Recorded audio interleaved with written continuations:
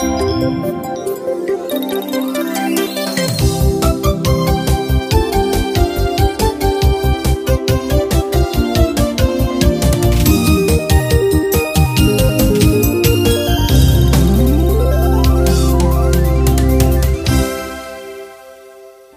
dəyərli dostlar.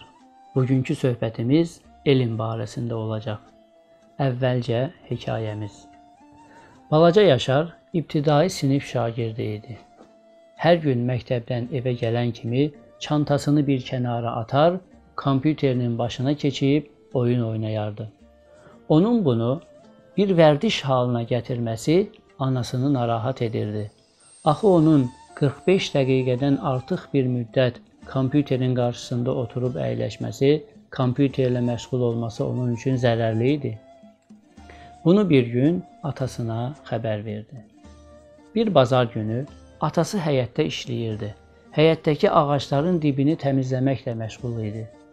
Oğlunu çağırdı. Oğlum Yaşar, gəl bərabər bu ağacları sulayaq.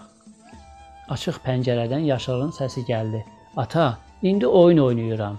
Oyunumu bitirim, sonra da dərslərim var. Amma atası oğluna dərs keçmək qərarında idi. Odur ki, bir daha çağırdı. Təkid etdi çağırışında və dedi: "Oğlum, gəl ağacları sulayaq, sonra mən də sənin dərslərinə kömək edərəm, bərabər həll edərik." Yaşar daha çox dirənə bilmədi və həyətə çıxdı. Balaca vedrəsini də götürüb atasının yanına gəldi. Atası da böyük bir vedrə götürüb bərabər kranın başına getdilər. Vedrələri su ilə doldurub həyətin o bir başındakı ağacların yanına apardılar. Ağacların dibinə suyu tökdükdən sonra yenə gəldilər kranın başına.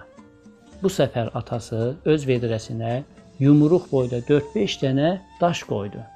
Vedrəni bu şəkildə su ilə doldurdu.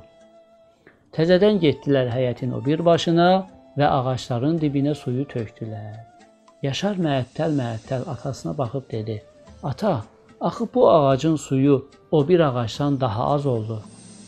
Atası özünü bilməməzliyə vurub dedi: "Niyə ki, bala? Ona da eyni vedrə ilə su gətirdim, buna da." Yaşar dedi: "Atacan, onda vedrə boş idi, amma indi dibində gör neçə dənə daş var.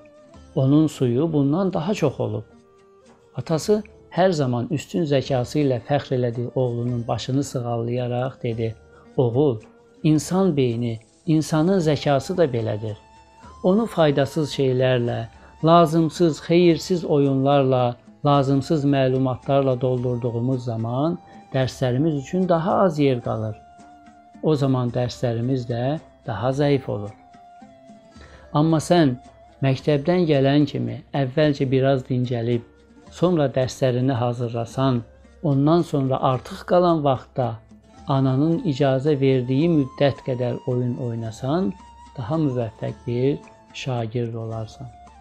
Bəli dostlar, insanoğlu daim elm ilə özünü güclü hiss edib. Bu tarix boyu belə olub. Elmi daha yüksək olan ölkələr daha irəlidə olub.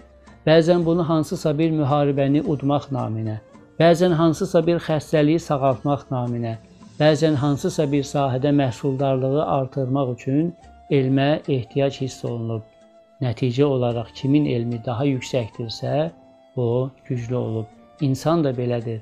Elmi olduğu zaman, daha çox oxuduğu zaman hadisələrdən özü doğru nəticəni çıxarda bilir və başqasının ağıl verməsinə, yön göstərməsinə ehtiyac duymur.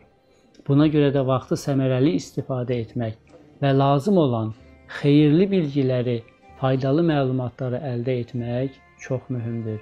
Peyğəmbərimiz əleyhissalamın buyurduğu kimi beşikdən məzara kimi elm oxumağa davam eləyək.